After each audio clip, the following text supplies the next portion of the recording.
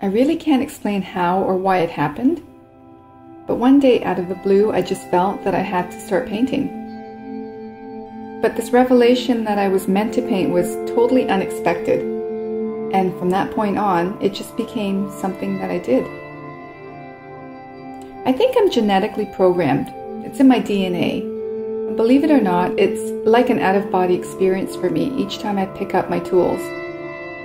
I don't plan my paintings in advance, I just have to wait until I feel that it's time.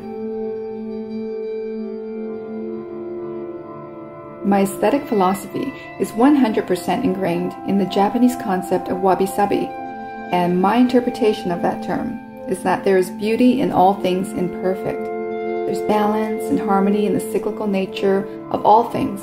Every stage should be celebrated, even when they get weathered and worn. In fact, to me, that's the stage where I find most beauty, when things are not perfect.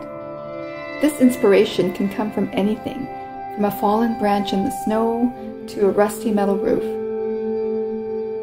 I don't have to look for inspiration because it's everywhere.